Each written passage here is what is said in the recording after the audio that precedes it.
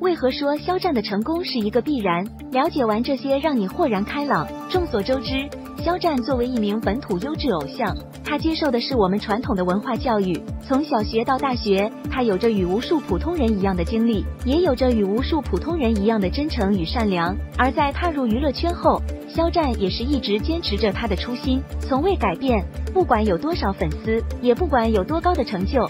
他都始终如一。当然，始终如一的肖战，由于天赋与努力原因，让他在前行的道路上也是散发出了越来越耀眼的光芒。而在脱颖而出的同时，肖战也是受到了无数前辈以及同事们的赞叹。特别是从荧屏走向话剧舞台，面对某些别有用心之人的质疑，肖战却是用一场又一场完美的演出来回应。不得不说的是，肖战用舞台出色的发挥回应质疑，不仅让那些质疑之人目瞪口呆。也让大众看到了肖战身上的那份无限可能。要知道，有一句话是最能形容肖战的天赋与刻苦的，那就是台上一分钟，台下十年功。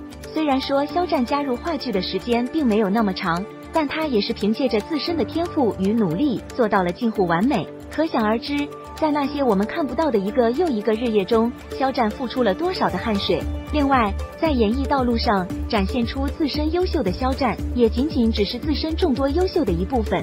在其他很多方面，肖战也有着太多值得称赞的地方了。综合上述，其实也说明了肖战的成功绝对不是偶然，是一个必然。因为他的种种优秀，不仅让无数善良的人们对他心生好感，也让曾经那些诋毁他的人知道了“羞愧”两个字是怎么写的。